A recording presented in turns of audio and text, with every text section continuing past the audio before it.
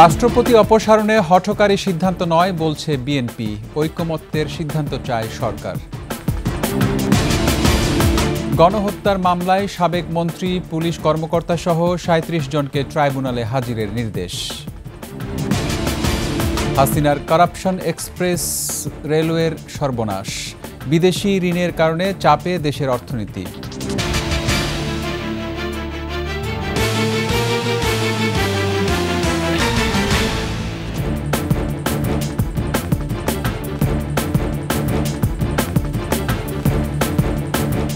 শুনছিলেন First Security Islami Bank PLC সংবাদ শিরোনাম, আমন্ত্রণ একুশের সংবাদের সাথে আছি রক্তিম ত্রিপুরা। দর্শক, একুশে টেলিভিশনের সংবাদ একই সাথে সরাসরি দেখতে পাবেন আমাদের Facebook page W W W dot Facebook dot com slash Ekushey twenty four অনলাইনে এছাড়া সাবস্ক্রাইব করতে পারেন W W W dot YouTube dot com slash at the rate of Ekushey ETV চ্যানেলে রাষ্ট্রপতি অপসারণে হঠকারী সিদ্ধান্ত না নেওয়ার আহ্বান জানিয়েছেন বিএনপি মহাসচিব মির্জা ফখরুল ইসলাম আলমগীর। বলেছেন, সংবিধান মেনেই সবকিছু করতে হবে। এদিকে বৈষম্য বিরোধী ছাত্র আন্দোলনের মাস্টারমাইন্ড তারেক রহমান ছিলেন বলে মন্তব্য করেছেন বিএনপি চেয়ারপারসনের উপদেষ্টা জয়নুল আবদিন ফারুক। ওমর ফাহিমের রিপোর্ট। যুবদলের প্রতিষ্ঠা বার্ষিকী উপলক্ষে শহীদ প্রেসিডেন্ট জিয়াউর রহমানের সমাধিতে শ্রদ্ধা জানান বিএনপির মহাসচিব মির্জা ফখরুল ইসলাম আলমগীর ও দলের সিনিয়র নেতারা। রাষ্ট্রপতি অপসারণ নিয়ে কোনো তড়িঘড়ি নয়। সংবিধান অনুযায়ী সিদ্ধান্ত হবে বলে জানান মির্জা ফখরুল। কোনো রকম হঠকারী পদক্ষেপ গ্রহণ না করে একটা সাংবিধানিক প্রক্রিয়ায় সবগুলো কাজ করা প্রয়োজন বলে আমরা মনে করি। অতি দ্রুত একটি নিরপেক্ষ নির্বাচনের ব্যবস্থা করা। রাষ্ট্রপতির অপসারণ নিয়ে বৈষম্য বিরোধী ছাত্র আন্দোলনের সাথে বৈঠক সম্পর্কে মহাসচিব বলেন বিএনপির সর্বোচ্চ ফোরামে আলোচনার পর অবস্থান পরিষ্কার করা হবে। মিটিংয়ে আলোচনা করে আমরা আমাদের অবস্থানটাকে পরিষ্কার করব। বিভিন্ন মহল রাজনৈতিক সংকট সৃষ্টি করতে চায়। উল্লেখ করে জয়নুল আবদিন ফারুক বলেন, ছাত্র জনতার আন্দোলনে মুখ্য ভূমিকায় ছিলেন বিএনপির ভারপ্রাপ্ত চেয়ারম্যান তারেক রহমান। রাস্তায় ছিল ছাত্র বৈষম্য বিরোধী আন্দোলনের নেতারা। মাস্টার মাইন্ড ছিল তারেক রহমান বিএনপি বারো দলীয় জোট। নয়াপল্টনে বিএনপির কেন্দ্রীয় কার্যালয়ে রক্তদান কর্মসূচি উদ্বোধন করেন বিএনপির স্থায়ী কমিটির সদস্য doctor A Z M Zahid Hossain. যুগপথ আন্দোলনে সম্পৃক্ত সকল দলগুলোকে সাথে নিয়ে আজকে একত্রিশ দফা রাষ্ট্র মেরামতের সংস্কারের কর্মসূচি। ওমর ফাহিম একুশে টেলিভিশন ঢাকা। এদিকে রাজনৈতিক ঐকমত্যের ভিত্তিতে অন্তর্বর্তী সরকার রাষ্ট্রপতি অপসারণের বিষয়ে সিদ্ধান্ত নেবে বলে জানিয়েছেন পরিবেশ উপদেষ্টা সৈয়দা রিজওয়ানা হাসান। সচিবালয়ে সাংবাদিকদের প্রশ্নের উত্তরে আরও জানান, রাজনৈতিক দল নিষিদ্ধের বিষয়ে উপদেষ্টা পরিষদে আলোচনা হয়নি। রাষ্ট্রপতির অপসারণই বলেন, পদত্যাগী বলেন, যেটাই বলেন না কেন, তারা মনে করছে এটা একটা রাজনৈতিক সংকট সৃষ্টি করবে। এটা যে সকল রাজনৈতিক দল বলছে তা না, কিছু কিছু রাজনৈতিক দল বলছে। সেক্ষেত্রে আমাদের অবস্থানটা হচ্ছে যে আমরা রাজনৈতিক ঐক্যমত গড়ার চেষ্টা করব এই বিষয়ে। আর রাষ্ট্রপতির বিষয়টা এমন যে এখানে গোপনে সিদ্ধান্ত নেওয়ার কোনো সুযোগ নেই। যখন একটা সিদ্ধান্ত হবে, সেটা প্রকাশ্য হবে। জুলাই আগস্ট গণহত্যা মামলায় গ্রেফতার দেখানো সাবেক আইনমন্ত্রী সহ চোদ্দ জনকে আঠারোই নভেম্বর ট্রাইব্যুনালে হাজির করার নির্দেশ দেওয়া হয়েছে। একই সঙ্গে সাবেক আইজিপি চৌধুরী আবদুল্লাহ মামুন সহ তেইশ পুলিশ কর্মকর্তাকে গ্রেফতার করে বিশ নভেম্বর হাজির করার নির্দেশ দিয়েছে ট্রাইব্যুনাল। চেয়ারম্যান, বিচারপতি গোলাম মর্তুজা মজুমদারের নেতৃত্বে তিন সদস্যের আন্তর্জাতিক অপরাধ ট্রাইব্যুনাল বেঞ্চ এসব আদেশ দেন। বিস্তারিত সাকেরা আরজুর রিপোর্টে।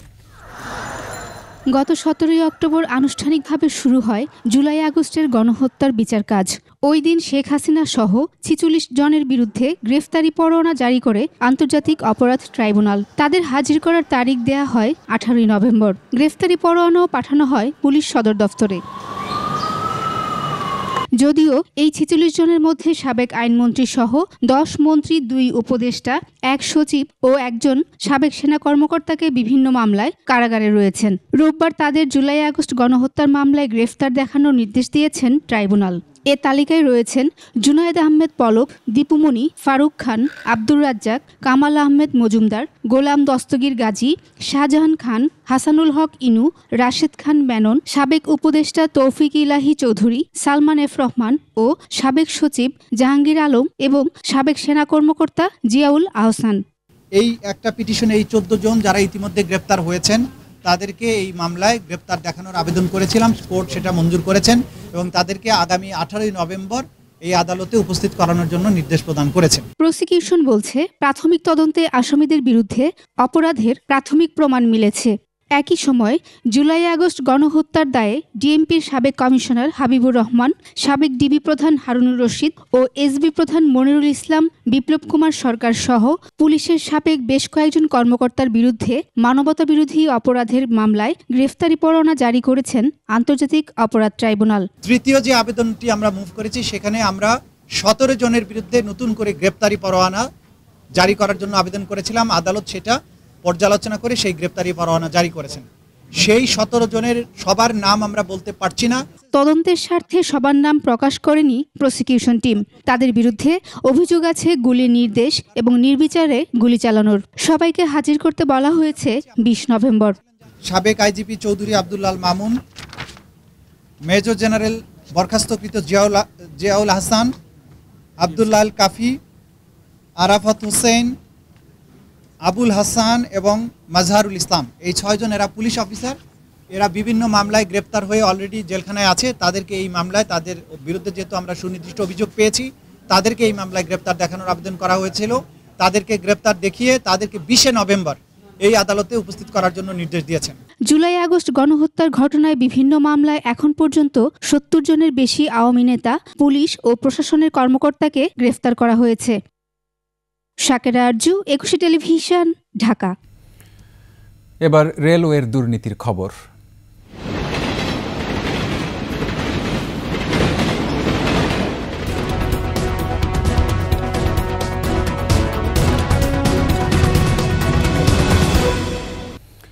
এ যেন করাপশন এক্সপ্রেস, এর প্রথম শ্রেণির যাত্রীর সবাই শেখ পরিবারের সদস্য।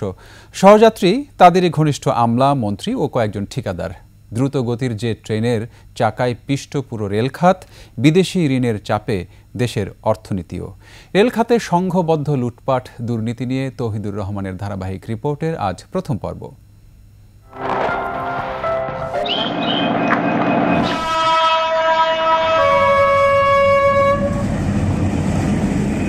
উন্নয়ন দেখাতে নতুন নতুন অবকাঠামো নির্মাণ করা ছিল ক্ষমতাচ্যুত শেখ হাসিনার নেশা। যোগাযোগ ব্যবস্থায় ঢালা হয়েছে বিপুল অর্থ। হাসিনা সরকারের আমলে রেলপথ নির্মাণে অন্তত ব্যয় হয়েছে সাতানব্বই হাজার কোটি টাকা।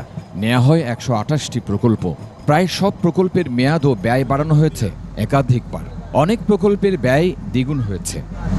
দু হাজার নয় থেকে দু হাজার চব্বিশ সালের জুলাই পর্যন্ত ছোট বড় মিলিয়ে এক হাজার অষ্টআশি কিলোমিটার রেলপথ নির্মাণ করেছে হাসিনা সরকার।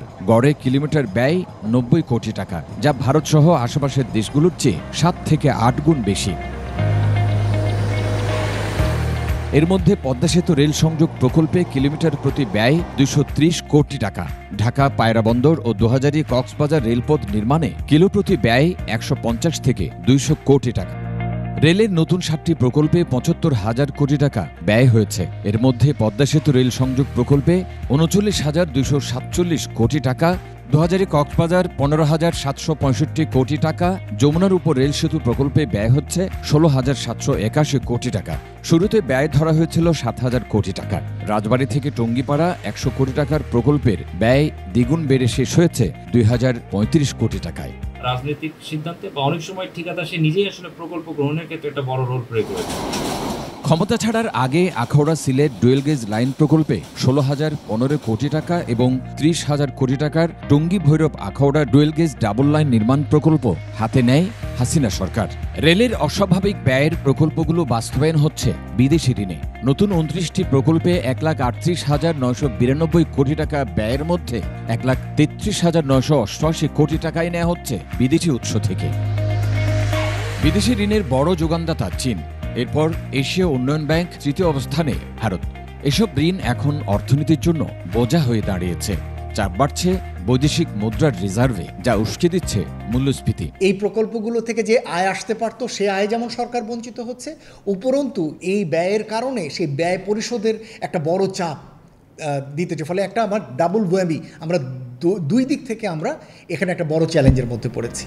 রেল কর্তৃপক্ষ বলছে প্রকল্পগুলোর মেয়াদ এবং ব্যয় বৃদ্ধির বিষয়টি খতিয়ে দেখা হচ্ছে। যেটা জি টু জি প্রজেক্ট হচ্ছে তার এক ধরনের বিলম্বতা। আবার যেটা হচ্ছে আপনার হচ্ছে পিওর লোন সেটা এক ধরনের ফিনামেনা দেখা হচ্ছে পর্যালোচনা করা হচ্ছে। রেল কর্মচারীরা বলছেন এসব রেল প্রকল্প শেখ পরিবারের সংঘবদ্ধ চক্রের পকেট ভারী করেছে। অতীতের আওয়ামী লীগ সরকার বিভিন্ন প্রতিষ্ঠানকে ধ্বংস করে দিচ্ছে একটা বালতির দাম হইলেও দেড়শো টাকা। এই বালতি হিসেবে আপনার সাত হাজার টাকা। গেল পনেরো বছরে রেল খাতে যে উন্নয়ন হয়েছে এই উন্নয়ন প্রকল্পগুলোর বেশিরভাগ অংশই সম্ভাব্যতা যাচাই যেমন করা হয়নি আবার আশেপাশের দেশের তুলনায় এইসব প্রকল্পের খরচও বেশি। তৌহিদুর রহমান একুশে টেলিভিশন রেল ভবন ঢাকা। ইরানে ইসরায়েলি হামলার নিন্দা জানিয়েছে বাংলাদেশ। রোববার সামাজিক যোগাযোগ মাধ্যম ফেসবুক পোস্টে দেয়া বিবৃতিতে পররাষ্ট্র মন্ত্রণালয় জানায়, এ ধরনের কর্মকাণ্ড ইরানের সার্বভৌমত্বের লঙ্ঘন এবং জাতিসংঘ সনদ ও আন্তর্জাতিক আইনের পরিপন্থী। এ হামলাকে উস্কানিমূলক উল্লেখ করে ভঙ্গুর অবস্থায় থাকা মধ্যপ্রাচ্যের স্থিতি নিয়ে উদ্বেগ জানানো হয়। যুদ্ধ ছড়িয়ে পড়া ঠেকাতে আন্তর্জাতিক মহলকে কার্যকর উদ্যোগ নেওয়া সহ সংলাপের উপর জোর দেয় বাংলাদেশ।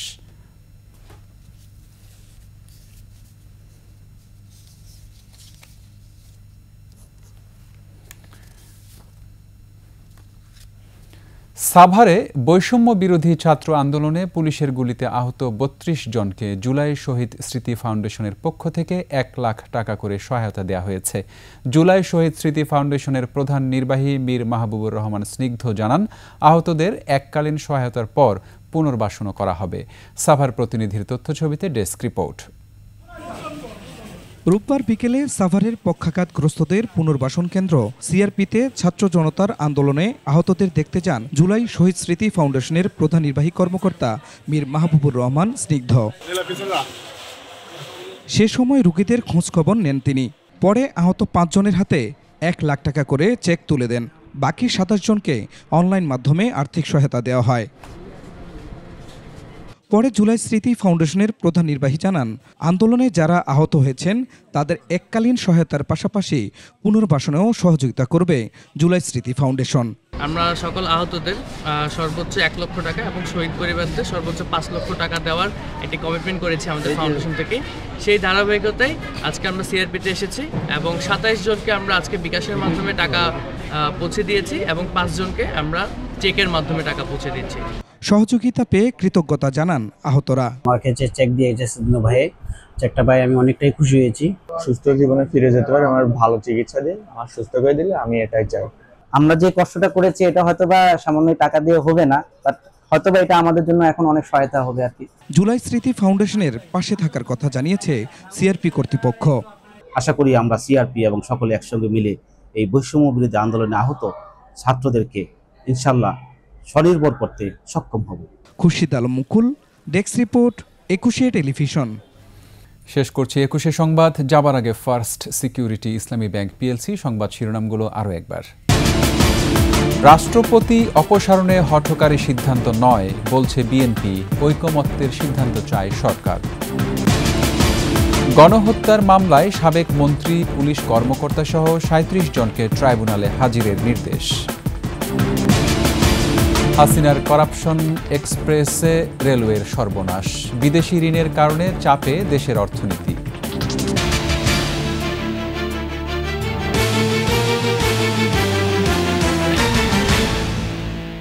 সর্বশেষ সংবাদ জানতে ডায়াল করুন টু জিরো টু ওয়ান নম্বরে আর ভিজিট করুন একুশে ড্যাশ টিভি ডট কম ওয়েবসাইটে।